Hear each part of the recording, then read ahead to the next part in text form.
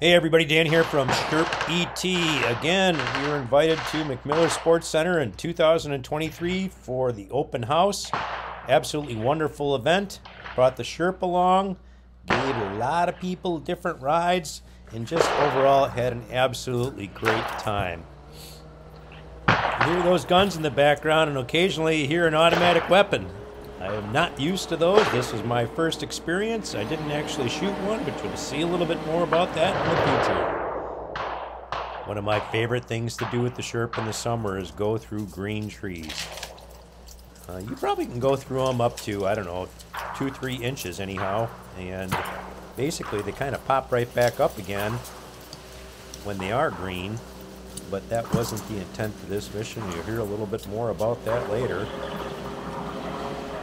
Our first group, interesting, is uh, during their bachelor party, they came out to the open house, shot some guns, He wasn't, he wasn't here for it. What? went up, up for a Sherp ride, and just had an overall great time.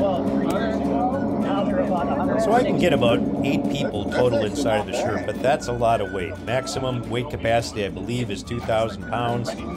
It starts to get a little bit uh, tippy, shall we say, when you have a lot of weight in it, so I'd prefer not to have that many, but they had fun.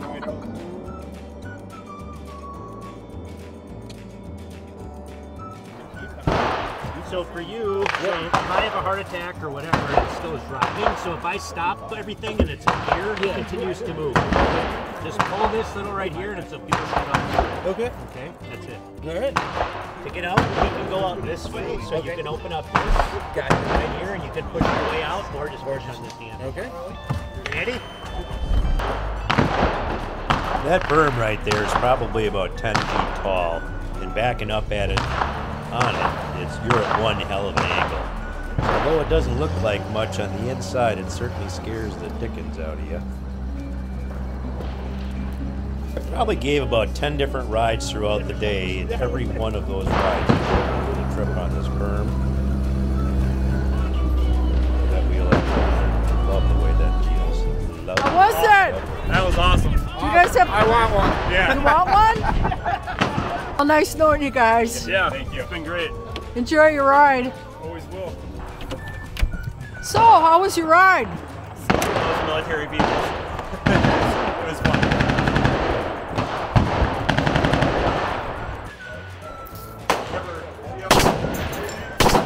Part of the open house, they had automatic weapons that you could choose from and go out there and shoot them for the first time. I have never shot an automatic weapon before, but it was absolutely incredible. The set setup that they had, they had multiple different calibers, multiple different guns.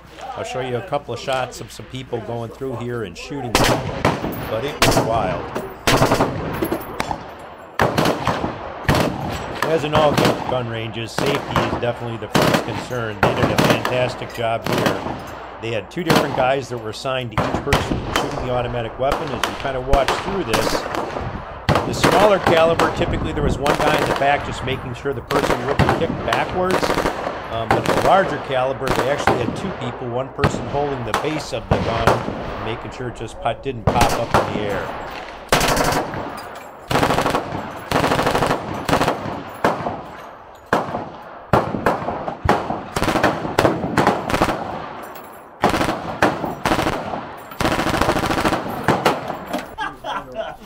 Here's an example of a larger caliber weapon. Look at the power that this thing has. So he's holding the front of that down with that tripod, making sure it doesn't pop up in the air with somebody else in the back. And this was a big dude too. That has got some power. Woo!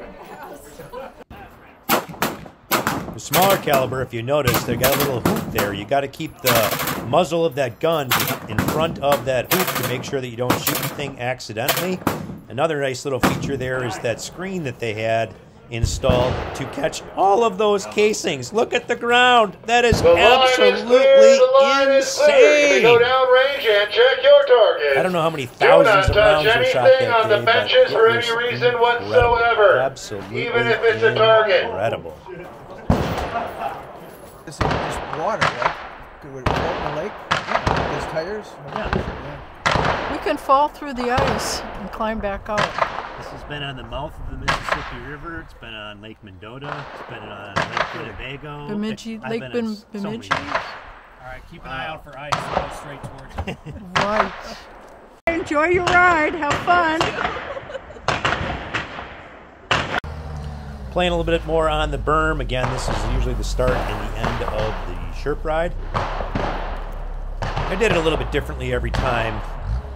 It depended on the group, depended on what they wanted to do. I think I actually could have climbed right over that without any problem, but on the opposite side of that hill is a bow range. Wouldn't want to have issues with that. The Muzzleloader Association was also there, and they had a hell of a setup. Going back to some early days, they had a number of different muskets that were there. It was interesting to me how light these were.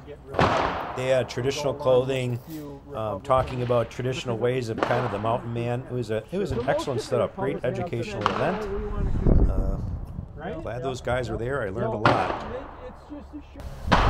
People always ask me, "Do you have any regrets of buying the Sherp?" And yeah, I've had some problems, but you have problems with everything that's out, that's out there, in my opinion, anyhow. I have taken it to its limits. Nope, I have no regrets. I think I had more fun than they did. Yeah, the back is uh, quite an exciting ride. It's an active experience. It's a good way to put it. I liked it. Cool.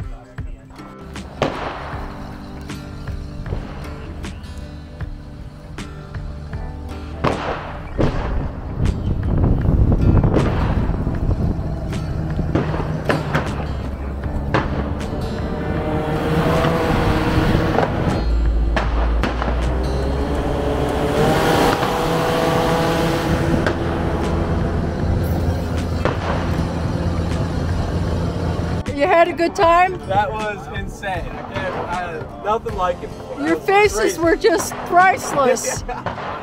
That was absolutely nuts. Yeah. All right, you can sit on your butt and just hop out, you know, or whatever.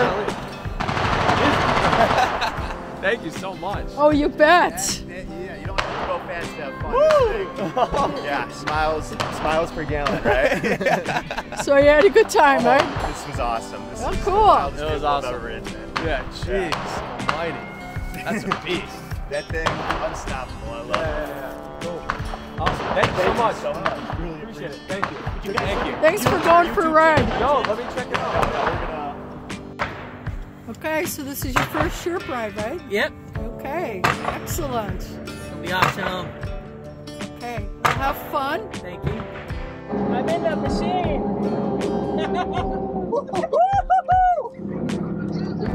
it's free. I'll get you the next one. Bye. So Kyle, what's the reason for taking out all these small trees? Uh, we're clear cutting this area. Oh, you are. Yeah.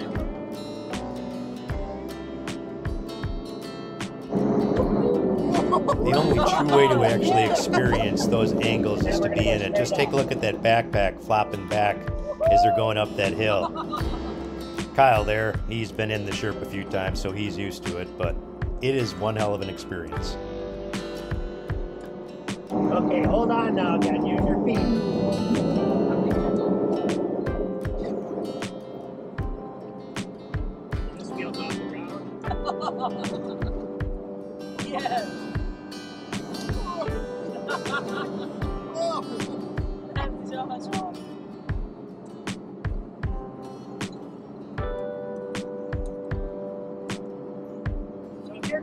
You're this, I can go through there, right? Of course. Go for it. I went through this one, I think I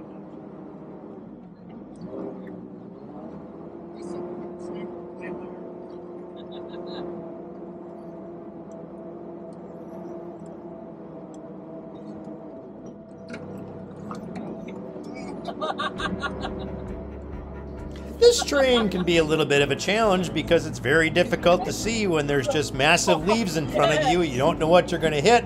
So she's in low and you just take it easy. And if you happen to climb up a tree a little bit, she'll probably plop down again and off you go.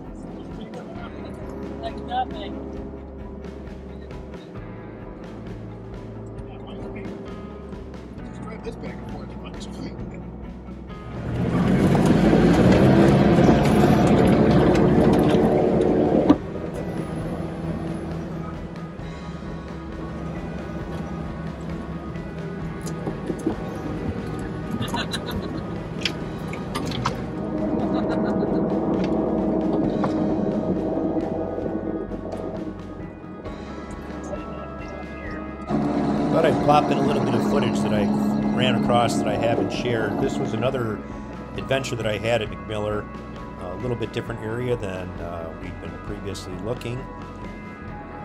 That log right there is probably about two feet high. Sherp just walks over it, no issue whatsoever. You've already seen what it does through trees.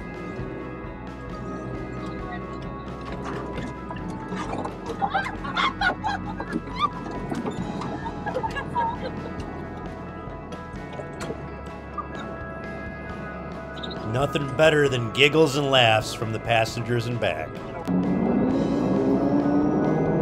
Okay, so remember your feet. Although I've never ridden in the back of the Sherp, that's the best advice that everybody said that I've ever provided is use your feet to try to hold yourself in back, push against it, because when you're holding up on the top, it doesn't keep you aligned like you should be. Had one of my buddies actually fly all the way across because they did not use their feet.